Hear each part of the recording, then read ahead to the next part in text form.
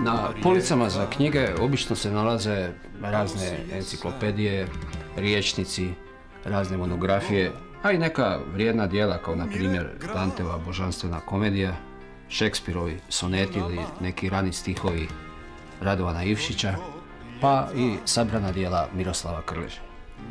Ovdje, sasvim ravnopravno uz njih, stoji moje najmilije long play ploče. Jedno je od njih čovjek kao ja, Arsena Dedića, vraćam se uvijek iznova, iako ju danas slušam u nešto drugčijem tehnološkom izdanju.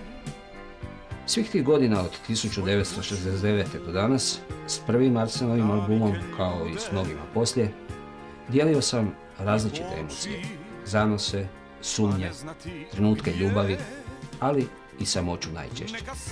Izblijedili su omoti, brojni otisci na njima, čak i tragovi crvenog vina koje se uvijek tako dobro slagalo s općim stanjem slušanja, koje je uvijek bilo s one strane, izvan nedorečenog, promjenjivog i upitnog vremena. To je bilo moguće jer Arsen je uvijek stvarao onu vrst pjesama koje smo, da smo samo znali, htjeli i sami napisati.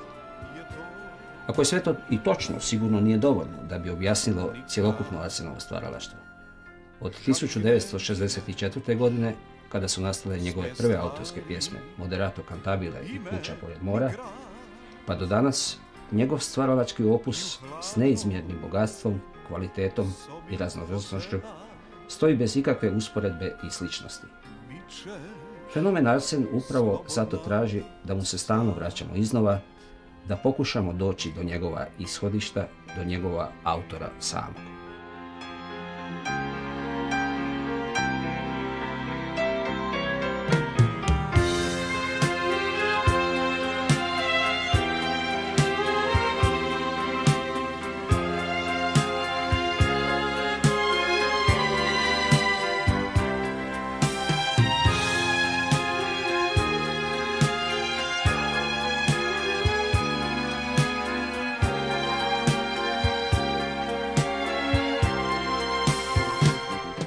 Jednom stihu sam napisao da onaj ko ne spava, da se taj niti ne budi. To je otprilike tako.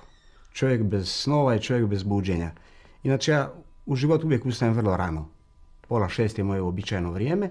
Onda radim ono što ne izaziva buku. Znači pišem ili stihove ili skladam ono što mogu raditi bez dodirivanja instrumenta. Tako do sedam. A u sedam kad je zakonski dozvoljeno praviti buku, onda počnem dirati klavir ili gitaru ili flautu tako. I tako zapravo čitav dan. Onda onako pravim prekid jedan stanku oko jedan, dok sam smio, popio bi neko piće da prekinem, ručao, uvatio onaj poslijepodnevni pižolat, malo se odmorio. Japanci kažu ko spava malo popodne da duže živi. Ja bi znači mogao se izvaditi na to. I onda ponovo počinjem od četiri i onda dok izdržim. S tim da pomalo listam televiziju, pogledam nešto iz vijesti ili tako. I onda tako negdje do pola noći prije sam još ranije ljegao, sad lježem sve kasnije, jer mi ovaj bolava, boravak na bolovanju, ne volim reći u bolesti, nego na bolovanju, mi je i san mogu reći dosta razorio, tako da spavam u segmentima, dva, tri, četiri puta noću se budim, i, ali uspijem opet nekako. Međutim, u svakom slučaju ono, kronično ispavam, a to je već postala vrsta navike na koju više ne primjećujem. Smatram da je to moje trenutno redovno stanje. U ovom prostoru već punih 30 godina živiš, stvariš, radiš. Tu su mnoge žrtve, kako ti kažeš, tvog minulog rada. Izgleda si i sam postao žrtva tog minulog rada, jer eto već nema mjesta ni za ploče, note, knjige još manje. E, taj prostor ti daje jedan mir, jednu intimnost, jedno prirodno okruženje. Dakle, daje ti jedne osnovne uvjete da možeš mirno raditi. Ovo je jedino što ja imam, što bi rekao Luigi Tenko, ovo je Il mio regno, moje kraljevstvo, ja već, većeg nemam. To mi je prijestolje. Dakle, ova je soba u kojoj ja zapravo sve što radim, radim, osim što radim u studiju. I ne volim puno izlaziti uopće, nisam nikad bio čovjek ono što mi neki dan jedna piše, kaže vi ste iz jet seta, pa mi napravi, kojih sam ja jet seta?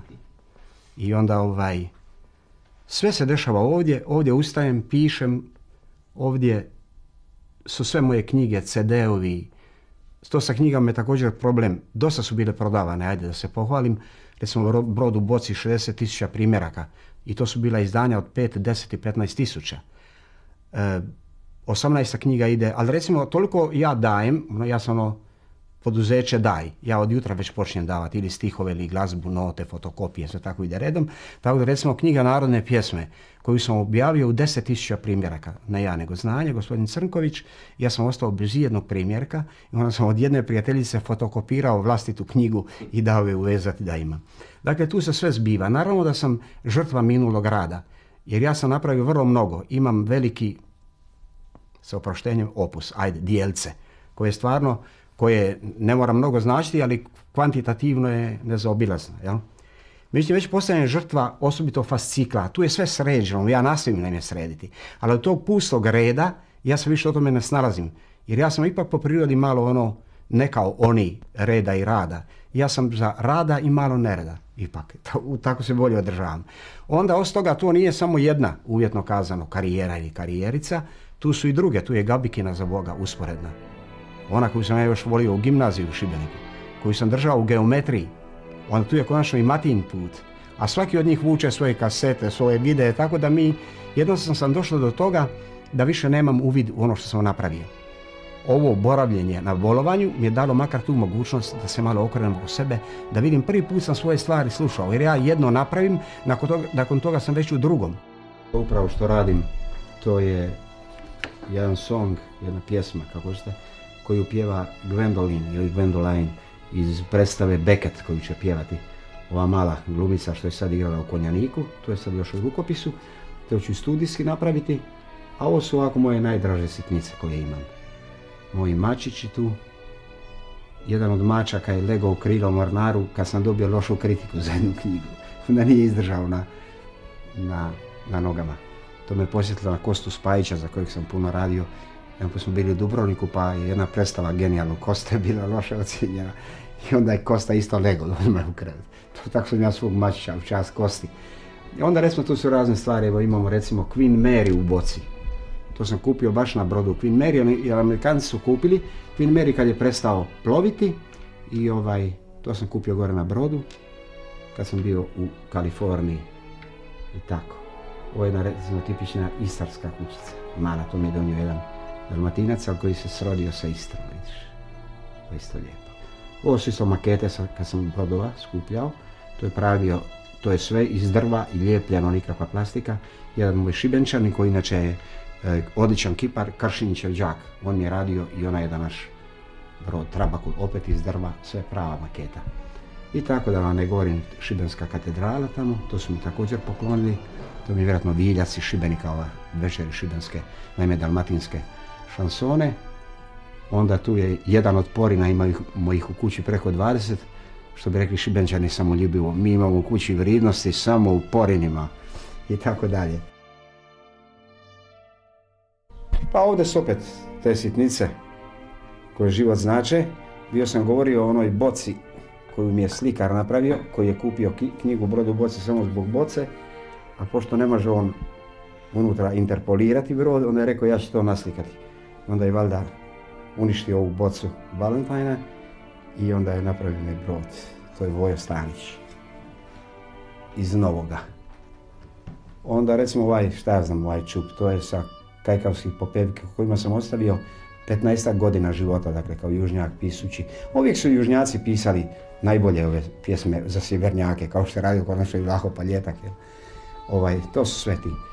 Tu imamo još jedan otporin. Ovo je naša keramičarka slavna Ljerka Merš. I kad sam ja ovaj objavio prvu knjigu, nam je Ljerka poklonila jednu knjigu keramičku.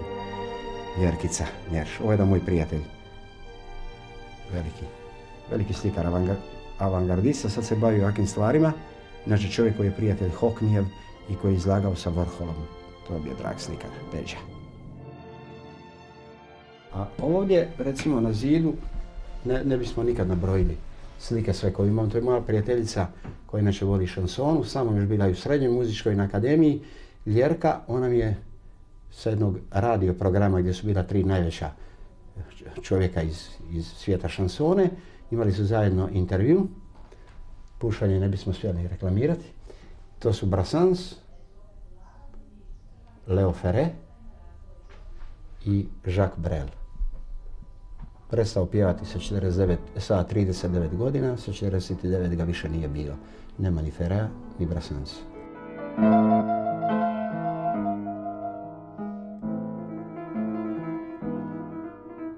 Ni ti, ni ja, to nismo mogli znati, ni ti, ni ja, da takav biće kraj.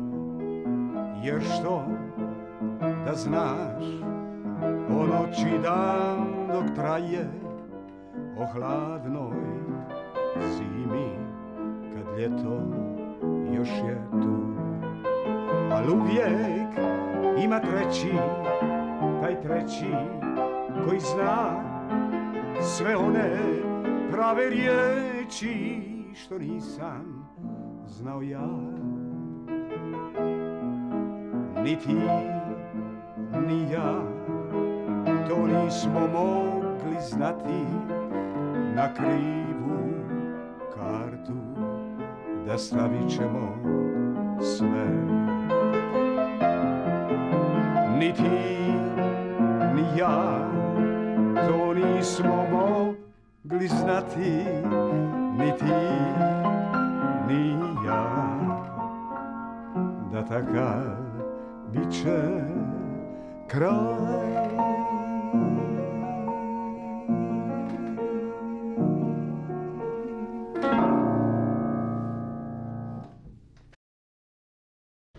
Odgovoriti na pitanje tko je Arsen, šta je Arsen, je veoma teško. Je, prilično je neuhvatljiv da bi ga se moglo sažeti samo u jednu kolotečinu, u jednu vrstu ljudi i zanimanja. Arsen mi dođe ovako kao jedna raketa koja odozdo iz podanka svog krene u jednom komadu, onda kad dođe gore do nebesa, onda se rasprsne u, stet, u stotinu malih arsena, od, od kojih jedan postane skladatelj, drugi postane pjesnik, treći propjeva, a ono što njegovi biografi često puta zanemare, on, on znade i slikati, što je najinteresantnije. Njegov brat je e, akademski slikar bolje iskoristio i ovaj, ovaj talenat Dedićevih, no Arsen zna i slikati, ima veoma lijepih slika u, u, u svojoj kući ovdje u Zagrebu. Pa to je tako, isto kažem, hobistički napravljeno. Najčešće, malte ne jedino, rijetko kad u Zagrebu, ali to sam, evo, oca slikao 75. mene crta ugelj. To je ono meni kompliment kad, kažu isti je, to mi je otac, koji me pozirao, vidi se po gesti, i to je moja majka. To sam isto radio u Šibeniku. Uvijek, uvijek je datirano sedmi mjesec, evo moj sedmi, ovo je sedmi mjesec, jer to je ono vrijeme kad sam uvijek bio kod njih, onda bi se u svom dorištu zabavljao na, na taj način.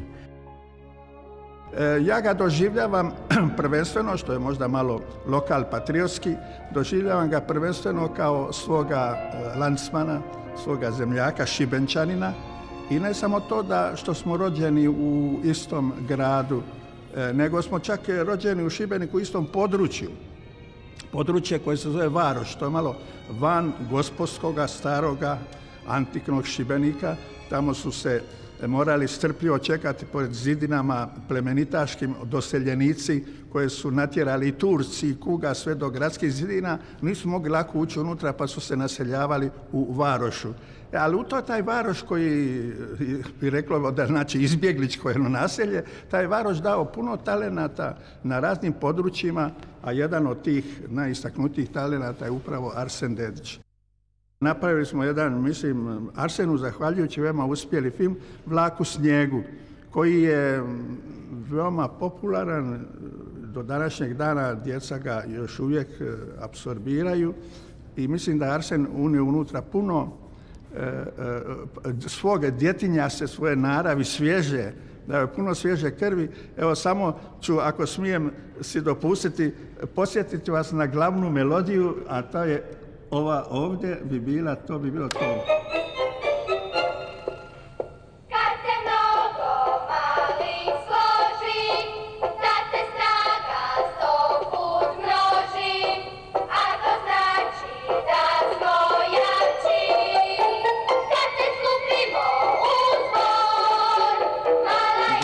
Ćemo s drugom prilikom slušati do kraja, a ovaj pjesma je naravno toliko popularna da je uzimaju često i dječji zborovi. Ja sam u svakom pogledu cijeli svoj život i cijelu svoju tu glazbenu avanturu obavljao uvijek dosljedan.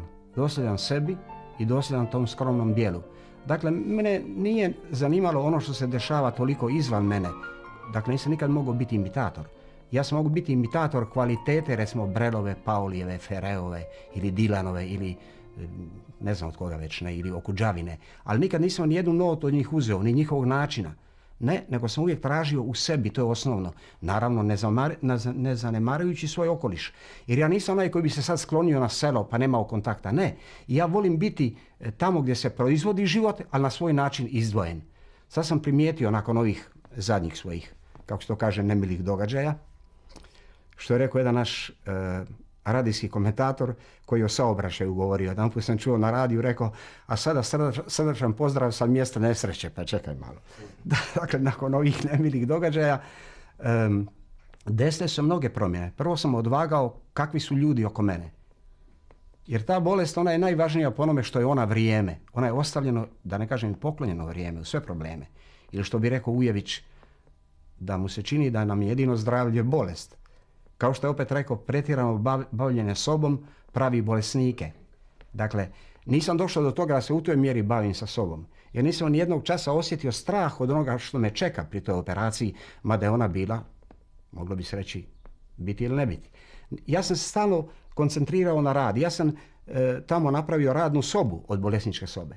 Tamo su bili televizori, CD playeri, kazetofoni, knjige koje su mi iz Zagreba donosili da čitam. Čitao sam recimo putopise sa velikim užitkom uh, Josipa Vanište, našeg velikog slikara. Tu ima mnogo njegovih Čitao si, čuo sam i o metafizičkom slikarstvu Da, onda recimo odlazio, odlazio sam tamo uvijek kad bi se osjećao bolje, brigom moje drage prijateljice, već mogu reći, Dotoresa Sersen, zapravo onaj naše gore list, ona je Sršen ona iz Metkovića, samo oni to naravno tamo čitaju i pišu kao Sersen. Njenom pomoći, koja je imala razumijevanja za mene i koja je tamo govorila hrvatski jedina, i zapravo uz nju još jedna gospođa koja je podrijetlom sa našeg najudaljenijeg otoka, od tamo je, ne znam kako se našla u Padovi i se tako ipak uspijao malo govoriti hrvatski. Inače, ovaj, jer ja sam vezan za jezik u svakom pogledu. Ja sam kao Antej vezan uz geu, dakle zemlju, u svoju majku. Mene kad odvojiš od jezika, mene više nema. Jer ja više nemam ni tebe, ni nju. I zapravo nikog pod nebeskom kapom Al me čuva Izgubljena mjesta ni tamo ni tu. Duboko i plitko postalo je isto Al me pazi Ona nema pojma, nježni dječji vid, ona je bez dojma, kakvi joj je dit. Sve u čudu gleda, a ja sam tu, s očima od leda, premorene duše, al me štiti lud. Ona nema pojma, nježni dječji vid, ona je bez dojma, kakvi joj je dit premala da sazna što je iza zida, ali bit će jednom sposobna da izda.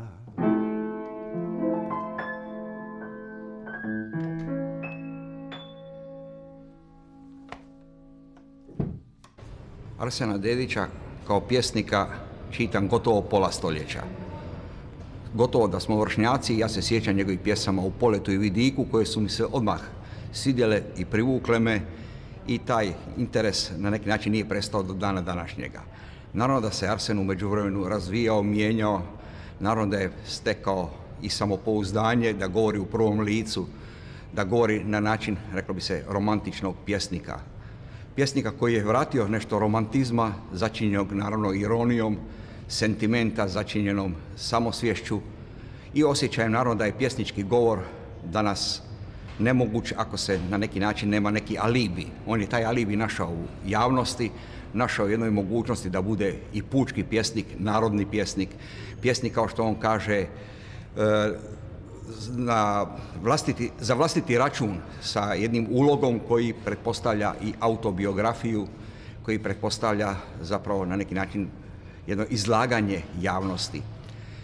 U razgovorima s njim ja sam se obično protivio njegovoj pretjerano posebnoj poziciji. Ja sam znao da i vjerujem da je on kao glazbenik izvaredan, da je, reklo bi se, zvučna ili melodijska linija, ritmička linija njegovom govorenju stihova važna, ali meni se činilo da njegovi stihovi naravno kad su tiskani imaju dovoljno težine, dovoljno svježine i snage i meni se čini da je kao pjesnik, i zato sam ga i antologizirao rado, jedan od važnih poglavlja hrvatske poezije ovoga stoljeća ili već smo u drugom stoljeću, ali svejedno među pjesnicima se isticao različitošću, upravo jednim nesuvremenim ili vanvremenim ili gotovo bih se usudio reći vječnim odnosom prema poeziji, prema poeziji kao izrazu naravno vlastitih doživljaja i kao izrazu bića, bića koje je ugroženo kao i sva druga, koji međutim kod Arsenovoj formulaciji, u njegovoj inkantaciji dobija eto posebne tonove. Ono sve što znaš o meni To je stvarno tako malo U dvije riječi sve bi stalo Kada pričala bi ti Arsen Dedić je često sam sebe nazivao pjesnikom opće prakse, želeći time reći da postoji visoko artistička poezija, hermetična kakva je pisana 60. godina i osjećao je da svojim govorom o prijateljstvu, o ljubavi, o ispovjedanjem svega onoga što se događa u pjesnikovoj svakodnevici, zapravo da možda nije dorastao toj uh, visokoj uh, poeziji kakva se tada u to vrijeme hermetično i pisala. Međutim, iz današnje perspektive, nakon pojave čitavog jednog novog vala hrvatskih novih pjesnika koji inzistiraju upravo na ispovjednosti, koji se ponovo vraćaju tim vječnim temama ljubavi, smrti, prolaznosti, opisa svakodnevice, Arsenova poezija dobiva nove impulse. Arsen naprosto se pojavljuje kao jedan od onih rijetkih pjesnika koji su u poplavi te poezija zasićena filozofskim e, simbolima, e, neproničnim slikama. E, u toj poeziji Arseno, Arsen se pojavljuje noseći neke emocije i neka iskustva koja inače smo od uvijek voljeli prepoznavati u poeziji. Poeziji se obično čita u nekakvim trenucima samoće, melankolije, u nekim trenucima kad želimo u stihovima prepoznati neko vlastito iskustvo. Raznesene valima i vjetrom. Tu su tople ruševine ljeta. Na rubu napuštenog mora I jednog izgubljenog svijeta. Ničeg nema, ničeg nema od tebe, od mene. Sve je kod Arsena na neki način podijeljeno i podvojeno. S jedne strane da kako e, šansonjerski poziv koji je vezan za reproduktivnu umjetnost, za, za jedan, ajmo reći, tvrdi kruh, a s druge strane e, posao pjesnika koji on nekako stavlja po strani jer ga vezuje za, za istovrsnu djelatnost kod drugih pisaca koji mu nisu nikad su više simpatični bili. Eto, to su ta dva e, razloga podijeljenosti, međutim ima i drugih, a ona najbitnija, sad ću od njoj nešto reći, e, uvijek se sjetim trubadura provansarskih na koje me Arsen podsjeća. Oni su s jedne strane bili ljubavni pjesnici, a s druge strane bili su vrlo angažirani u političkom smislu, u govorenju protiv svega onoga što je njima smetalo, da kako u prvom redu ono što se ticalo feudalaca, vlasti i opće situacije u njihove zemlji. Moj zanat mi je dao vrh s kojeg ću pasti U snu sam se peo da nisam ni znao I još mi je dao, i još mi poraze i časti Dobra pjesma mora imati četiri elementa. Mora imati dobar tekst, dobru glazbu, odličnog interpretatora i jako dobar aranžman koji će pratiti taj cijeli sadržaj. To je vrijedilo za svaku dobru pjesmu, a posebno za šansonu oduvijek. Pa to vrijedi i danas. U tom kontekstu možemo gledati gdje je šansona danas i lako ju prepoznamo ako u prvom redu ispunjava sve te uvjete. Ali ima još nešto, jedna fina stvar u šansoni. Ona naime ne govori često velike priče. Ona kaže priču o malim stvarima i o kratkim nekim trenucima, ali to kaže inspirirano i istinito. Čovjek ne mora naći cijeli svoj život u jednoj pjesmi, ali taj trenutak koji jednoj pjesmi nađe, taj njega kosne, tako da kaže. Gdje drugi neće. Divljom zvijezdom vođen Jer to je moj zanat, to je moj zanat, to je moj zanat. Ja sam za to rođen. Govoriti o Arsenu kao o skladatelju mogu reći sve najbolje, a među nama postoji jedan savez, slični, sličnih smo afiniteta i naravno da onda se nekako nadopunjujemo zajednički. I što je osobito važno, e, Arsen je meni uvijek dozvoljavao da potpuno iskažem svoje mogućnosti, nikad me nije e, sputavao da tako kažem da napravi ovo ovako ili napravi ovo onako, nego pustio mi je potpunu slobodu i mislim da je tu i jedna bit te naše suradnje, tako uspješne suradnje. Ko stoji za mene u ovim dobrim danima, danima zašovene, iza jednih je mafija, kad najgore je samima. Iza njih njihovi, iza naših naši, to u istom času raduje i plaši.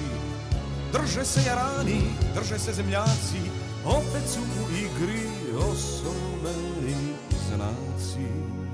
Ako pogledamo razdoblje od recimo 1964. koja je vrlo značajna u tvom životu, pa do danas, dakle, punih 40 godina izuzetno bogatog i raznovrsnog stvaralaštva. Kako ti je uspjelo da ostaneš dosljedan sebi, svom individualizmu? Ti više što su okolnosti u kojima si radio često se mijenjale, nisu ti baš bile ni sklone, a nekad su bile i vrlo dramatične. Pa da, to je, to je, moglo bi se reći, ajde, nećemo reći tragične, ali recimo blažu riječ, dramatične. Naravno je bilo toga, mislim to je pratilo sve kantautori. Ja sam gledao sve. Recimo, Pauli je bio u toj mjeri nesvačen. Gino Pauli, inače moj vjenčani kum, je od najznačajnijih kantautora Italije, uz De Andrea, Gabera, jeli, Endriga i tako dalje. Pa šta, šta njemu nisu pisali, radili, pjevajući mrtvaca, optuživali ga za drogu, homoseksualizam i tako dalje. A sad kad je došao u Sanremo, kad je prvi primao nagradu za životno djelo u Sanremu, on uopće nije znao gdje se nalazi, niti ga to zanima. A u početku smo mu pisali pjevajući mrtvac, ali on je strpljivo radio i čekao da mu publika odraste. Jer kad je izišao, kao da je došao s neba. Aplauz je trajao 15 minuta, nije se mogao nastaviti festival u Sanremu. Tako je često sudbina kantautora koji se sa svojim rukopisom oglase i artikuliraju negdje otprilike i to sam mjerio 25-26 godina. Kad ste spomenuli Moderato Cantabile, to je recimo pjesma koja je na izvjesan način bila moj trademark, jel? Ona je bila odbijena na svim postojećim festivalima ondašnje Jugoslavije. Niko. Jer to je bilo vrijeme kad se pjevale jabuke i trešnje, Jadro naš, što tako krasno biti znaš. I sad sam došao ja sa Rijeka donosi jesen. Naravno da to nije funkcioniralo, ja toga nisam bio ni svjesan. Jer ja sam moderato napisao još negdje 61. tu negdje. I onda sam krenuo. Zagreb odbio. E, Split odbio. Beogradsko proljeće odbilo. Dakle, sve što je postojalo, to je odbilo. I onda smo se jedne godine, svi mi kolege i prijatelji koji smo se oko šansone aglomirali, gdje su bili Irena Vrkljan, Zvonimir Golob, Krajač, ja, Hegedušić, Špišić, e, Prohaska, Kalođere i tako dalje, mi smo napravili u dramskom kazalištu... To je isto 64. 64. To je bio, mislim, sjećanj. E, svojim okolnostima, svojim uvjetom štampali i knjižicu i koja je nosila i formirali kao uvjetno kazano neformalna grupa koja je nosila naslov Studio 64. Ili kako sam ja zvao salon odbijenih, kao što imaju Francuzi u slikarstvu. Jel? Tu smo bili svi mi kojima su možda njihove najbolje stvari bile mahom podbijane. Jer prosječni ukus je apsolutno nepogrešiv. On vidi kad je nešto dobro i to zaustavlja. Ja? I onda smo mi tamo izveli, tamo sam izveo dvije pjesme. E, Moderato Cantabile je moj prijatelj, početak 64. A u ljeti 64. godine sam praizveo kuću pored mora, koja je bila prva nagrada žirija, prva nagrada za tekst, prva nagrada tako dalje. Ja nisam nikad u životu pjevajući dobio prvu nagradu. Moje su pjesme dobijale, recimo kad je pjevala Gabi ili pjevao neko drugi, ali ako sam ja ih sam izvodio, uvijek sam bio negdje drugi. Pa 1982. godine sam u Sanremu, u ovom istom teatru Ariston, s kojeg gledamo prijenos Sanrema, sam dobio nagradu Tenko. Tenko zbog toga jer Luigi Tenko je u povijesti autorske pjesme u Italiji sigurno jedan od najznačajnijih, nažalost prerano otišao. Bio sam i u hotelu u kojem je on odzeo sebi život. E, te godine je dobio još jedan, a autor to je njihov slavni Muralo, on je napolitanac i pjeva taj žanr, ali autorski tretiran i dodjeljuju se dvije nagrade. Jedan je operatore kulturale, to je za domaćeg umjetnika, i artista stranjero, to sam bio ja. Bio sam negdje na spisku između devet ljudi koji su tu premiju dobili. Prije mene su bili Ferre, Brel, Dilan, da za svakog bi ustao. Da ih pozdravim i zahvalim se. Dakle, bio sam u tom jednom vrlo uskom krugu. Bio je tamo, mislim, i Aznavur i tako. U to vrijeme e, su bile i konferencije tiskovne i snimali su me po gradu, imao se intervjue koliko znam talijanski. I onda na tiskovna konferencija su me predstavljali e, između ostalih novinara i voditelja, bili su još koji su govorili o meni, Endrigo i Tenko. Spominjem Endrigo zbog toga, jer imam bako u privatnoj arhivi jednu skromnu presnimku koju mi je Sergio poslao, on je vjerojatno tehnički isto toliko vješt kao i ja, ali nije loše da, ovaj, da, da vidimo, sjećanje. Sjećanja kaže se i tako blijede, pa onda i ovo sjećanje blijedi.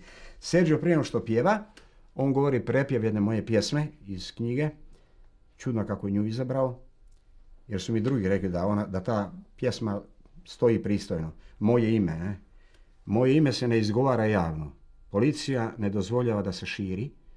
Moje ime je konspirativno ime nekih mojih drugova. Ono se ispisuje noću po zidovima po cijenu slobode. Moje ime je lozinka ljubavnika. Ono se izvikuje pod vješalima.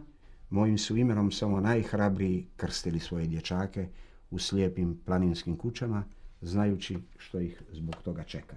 Dakle, Sergio će najprije tu pjesmu reći talijanski, ne traje predugo, a nakon toga on i ja zajedničkim silama pijamo e, mog voljenog Ujevića hrvatski.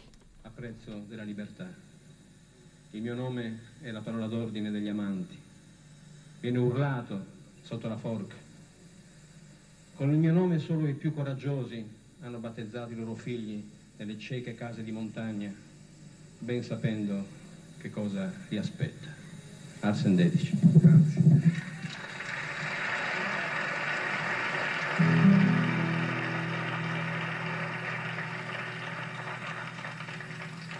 Questa canzone, Partenza si chiama.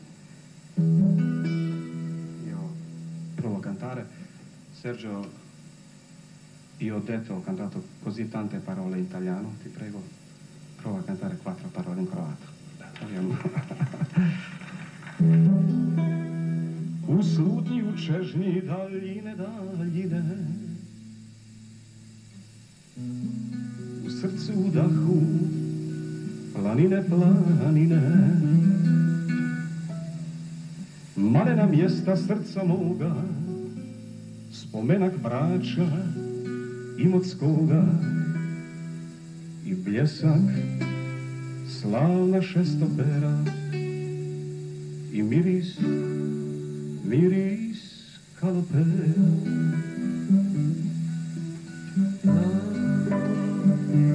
Tamo da putuje, tamo, tamo da tuguje,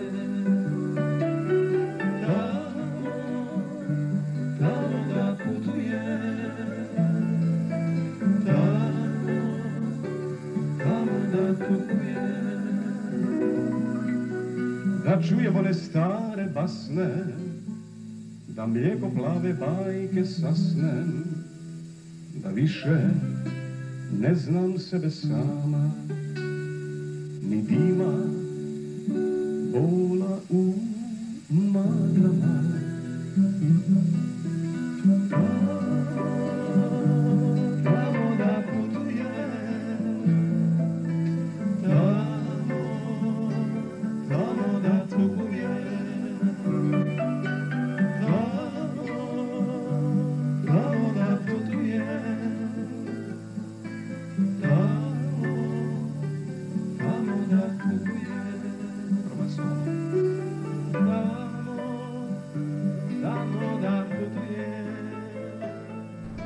penso che sia un'amicizia vera. Non ci vediamo tutti i giorni perché lui sta a Zagabria, io sto Per questo, è, per questo è amicizia Đura, Certo, perché forse ne vediamo ogni giorno. Dakle, zato je prava, pravo prijateljstvo se ne viđa pa Ma svaki mi dan. ricordo anche quando ci siamo conosciuti in casa di amici nel 60. Era gennaio di 1964. Io sono in servizio militare, Sì, tu ricordi? Stavi partendo? In, in casa di Ivica Krajaš, tu ricordi il nostro cantautore e regista anche, in Jurjevska, eh, strada Jurjevska 20, io ricordo. Eh, siamo stati insieme, Calogera, fratelli, con le, con le mogli, io, tu, io, non so chi era, e ognuno suonava per te, suoi pezzi suoi. E dopo ho preso io il suo posto e ho suonato una canzone vecchia mia, ti è piaciuta più di tutte queste, devo dire. E così cominciate. Può cantare, può canticchiare un po' questa canzone. La sua? Sì. No, sì, sì. sì. no, da da. Da da da.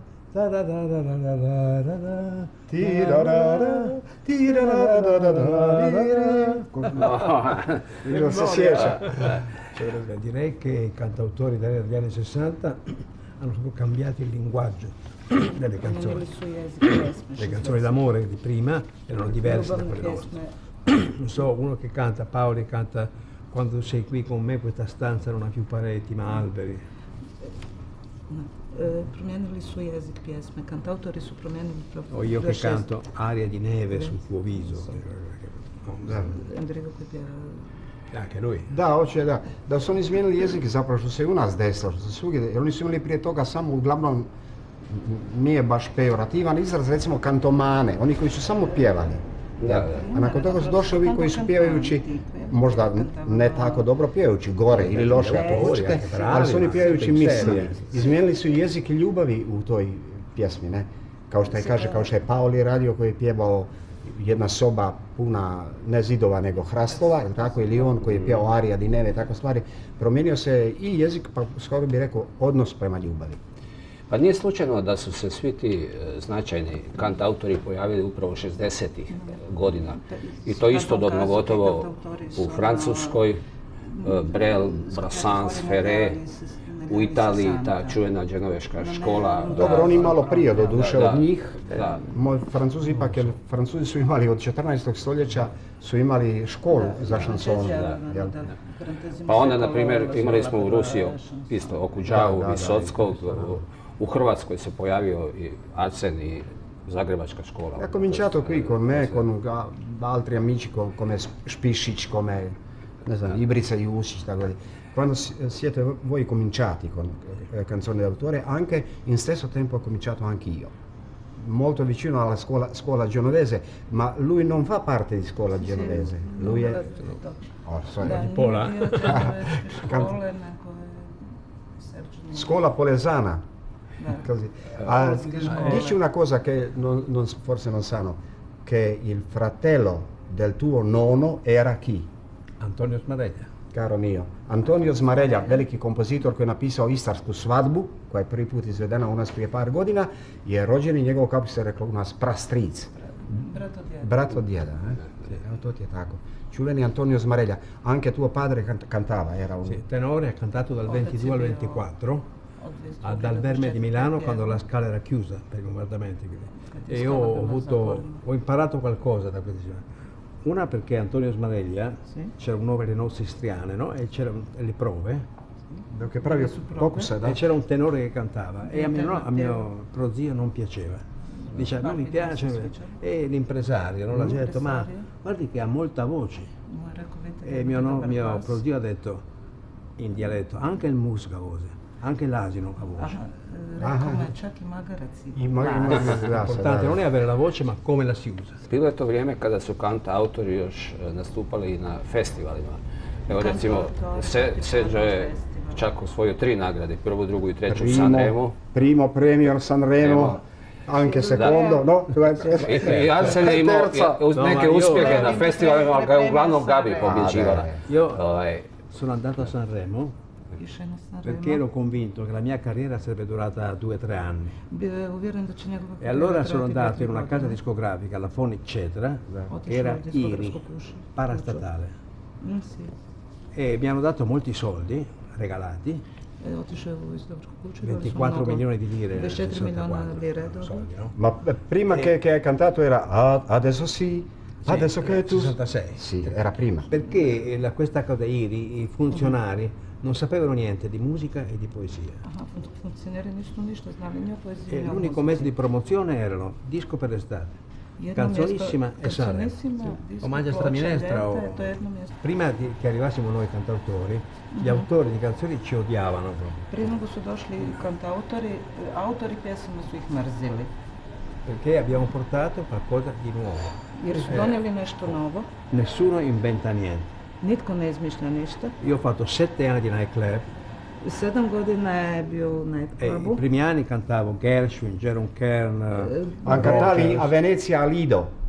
Io Ho cominciato. Ma sì, ma io ho visto questo ristorante, sono stato. Che il pubblico si ricorda ancora le mie- molte mie canzoni, non tutte, perché le ho scritte većine njegovih 260. pjesama.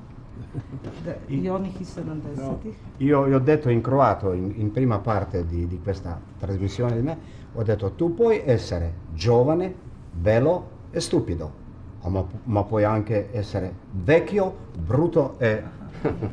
Mlad possibile? star, star, ružan i pametan. Non credo, non credo che i giovani di oggi ricorderanno tra 30 anni za le 30 canzoni che ascoltano oggi. Pjesama koje danas Non slušaju. Kud plovi ovaj brod Kud ljude odnosi I da li iko zna Što more sprema? Kud vodi ovaj put Kojim smo krenuli Od svega samo znam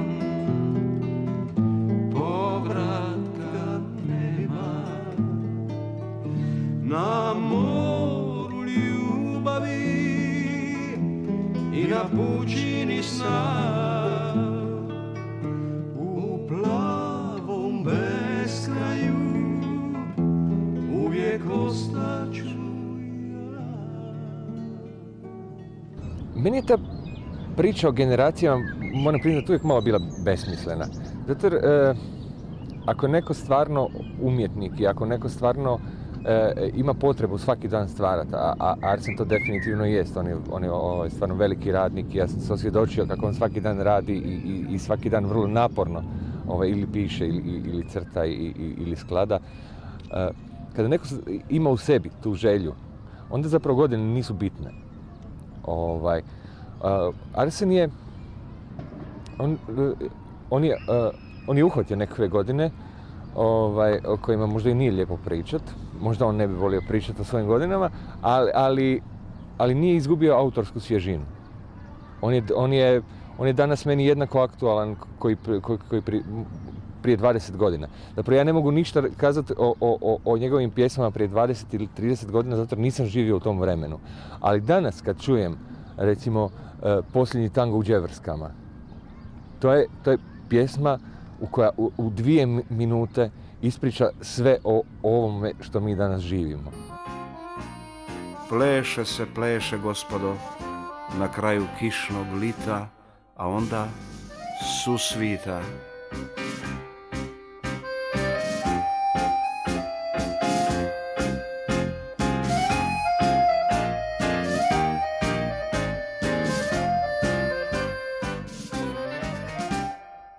Razmišljajući o, Arsenu proteklih dana, shvatio sam da me on na neki način, odnosno njegov rad me prati kroz većinu života. Mislim da je prva pjesma koju sam čuo, a da je bila njegova, što naravno tad nisam ni znao, je ona pjesma o Bubamare i Bubamarcu.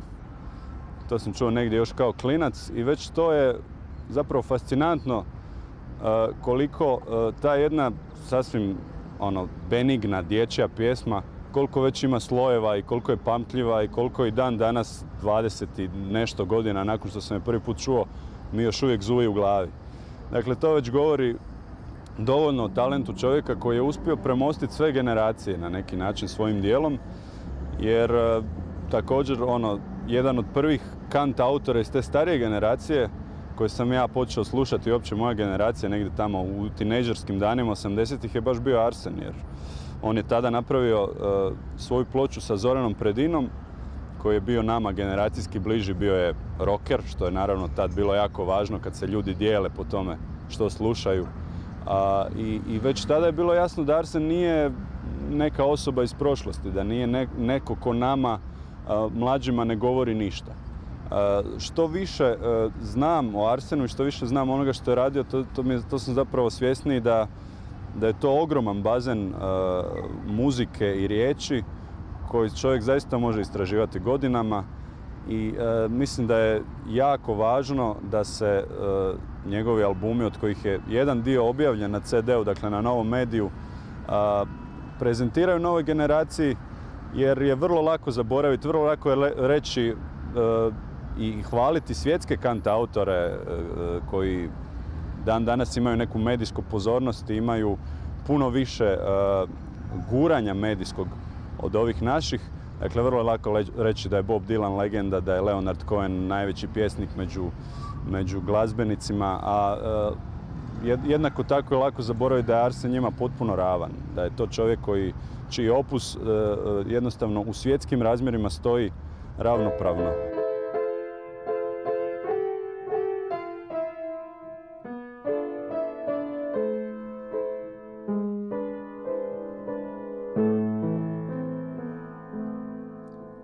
Je pošao i gord je bio, jer svojoj zemlji pomoć je htio.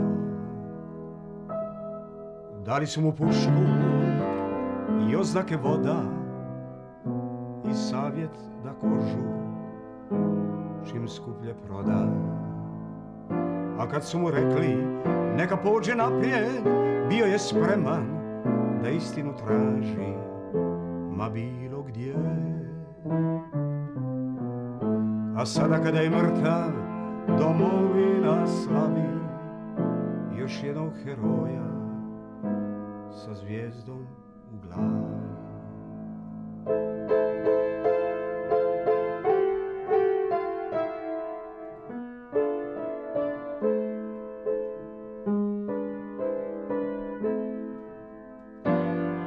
Što ga boli tak je htjela živog vojnika, jer s mrtvim herojem što može sam. I kamo da krene ta mlada žena sa tužnom slavom i šakom ordena.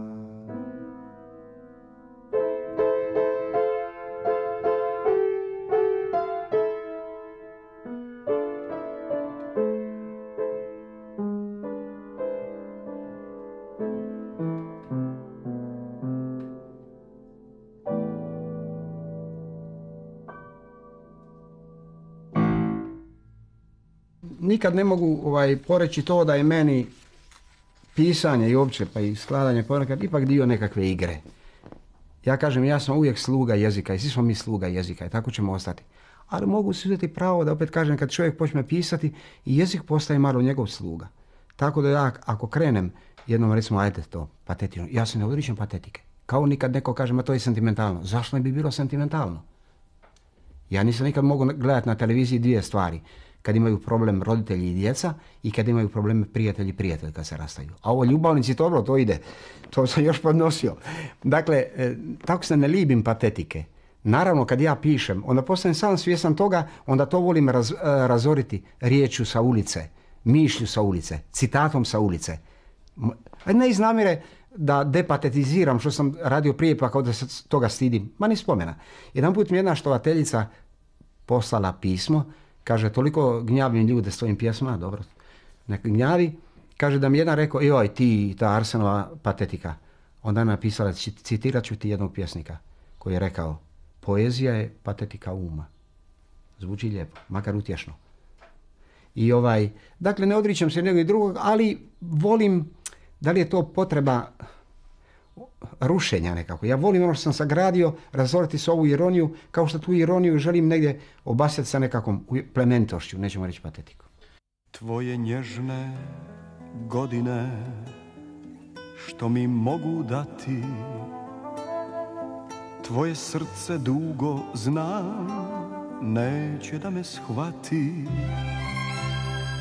Tvoje oči pune sna kako da me slijede Moje pjesme tužne su Zate još ne vrijede Stare priče su lijepe i na neki način uvijek poučne. O čemu se radi? Delegacija kineskog cara posjetila je mudrog Konfucija nezadovoljna stanjem u svojoj zemlji. Izaslanici su se požalili Konfuciju i rekli su mu, djeca više nikoga ne slušaju. Usjevi nisu rodili, žuta rijeka je preplavila sve usjeve. Seljaci gladuju, nitko ne plaća poreze, razbojnici harače na sve strane. Što da radimo? Mudri Konfucij odgovorio jednom jedinom riječju, napišite svoj riječnik. Za moju generaciju i za mnoge druge generacije taj riječnik napisao je Arsen. Za mene i za mnoge druge koji smo rođeni u priobalnom dijelu Hrvatske, Arsen je bio sretna spona između Zagreba i Zavića. Arsen je sjever i jug, on je kopno i more. Arsen je e, spajao, spajao mnoge naše ponore i mnogim našim čežnjama dao toliko potrebno umjetničko dostojanstvo. Smjer u kojim sam ja u životu otišao, e, e, obično ljudi dolaze iz Dalmacije u Zagreb. Ja sam otišao iz Zagreba u Dalmaciju prije deseta godina ona je pitao, dobro kako, zašto? Mislim, to je apsolutno nelogičan, nelogičan smjer i nelogičan potez. Ja imam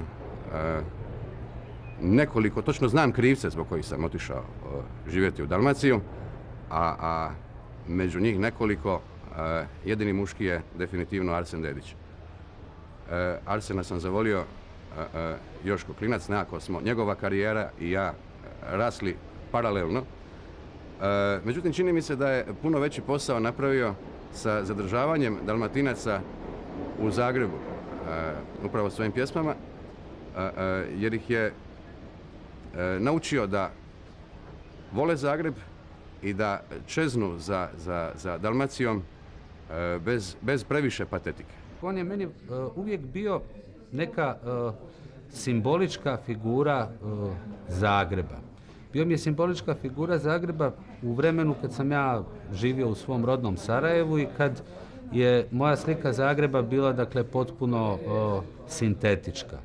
I kada sam 1993. iz Sarajeva preseljavao u Zagreb, ja sam na neki način, nekako iznutra, ovaj, osjećao kao da ja dolazim Arsenu Dediću i u grad Arsena Dedića. I ono Zagreba što sam nakon toga uh, uspio zavoljeti, zapravo, zapravo pripada toj jednoj veličanstvenoj slici svijeta, jednoj veličanstvenoj osjećajnosti, uh, čiji je Arsen jedan od uh, glavnih, glavnih kreatora. Nažalost, bojim se da nikad ni Zagreb ni Hrvatska e, neće sasvim shvatiti šta je Arsen e, značio i šta Arsen znači ovoj kulturi. Naime, sada upotrijebim jednu parabolu ili već kako se ta figura zove, ovaj, ono što je Miroslav Krleža za hrvatsku književnost, to je uh, Arsen Dedić za hrvatsku osjećajnost. Ti si cijeli život proveo u radu i putovanjima. Recimo, bio si na devet turneja u Sovjetskom savezu, šest, sedam Sjeverna Amerika, bio si u Sao Paulu, znači od Sao Paula do Novosibirska. Je, iz Rusije sam se vratio sa najvećom poputbinom sa Gabi, jer mi smo uvijek ono bili najprije poznanici, ja sam ju upoznao na televiziji 58. godine, ja sam nešto muljao sa kvartetom, ona je već kao zvijezdica išla u neku emisiju. Mislim da je pokojni Angel režirao. I tamo sam upoznao Gabi, znali su da pišem stihove, tako za njezin prvi mali LP ono vrijeme pjeva Gabi Novak, koji je krasan. Sad je obnovljen, evo ga, iz 58. sad je Croatia rekord je obnovio i on se od mene traži da prepjevam jednog Gershvina, Someone to watch over me, neko bdije nada mnom, tako sam nazvao. Dakle, Gabi je na, u samom startu na svojoj prvoj LP pjevala mene. I on tako malo po malo poznanici, suradnici, kolege, prijatelji, ona je bila razvedena, ja isto razveden, i našli smo se sad na brisanom prostoru. I nije to bila sad ono, što bi se rekao, kolpo di fulmine, udarac ne, sudbine. Mi smo toliko se već poznavali da to nije moglo biti sada nekakva uspanična ljubavna veza. Nego jednostavno sam shvatio u jednom času, već se na nju toliko ljudi referiralo i okomilo, kao na mene, drugog spola, krasnog spola. Ja sam rekao, kako će sad to ona pripasti jednom svijetu, a drugom svijetu? Uvijek smo ga dijelili kakav je da je. Međutim, rekao sam onda jedino je to da rješamo tako da budemo zajedno. I onda što je slijedilo? Ljubavnici, nakon toga roditelji i sada bjeda i baka. Išlo je sve jednim prirodnim tokom.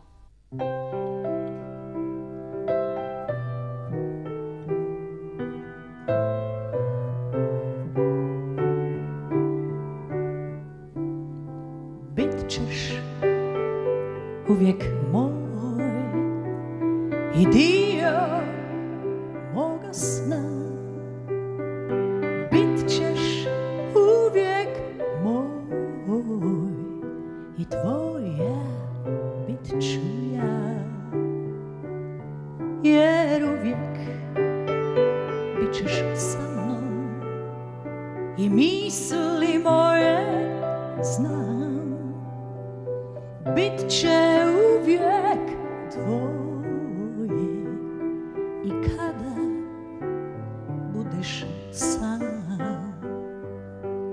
Sve do jučer moja ljubav, moja tajna Sad si ti.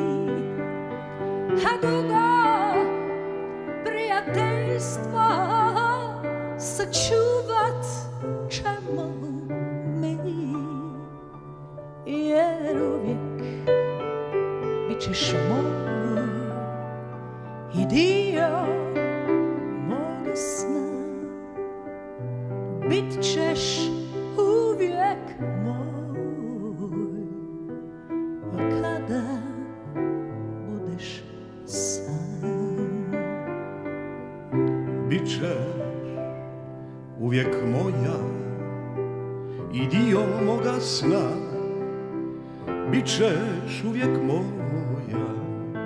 i tvoj ću biti ja.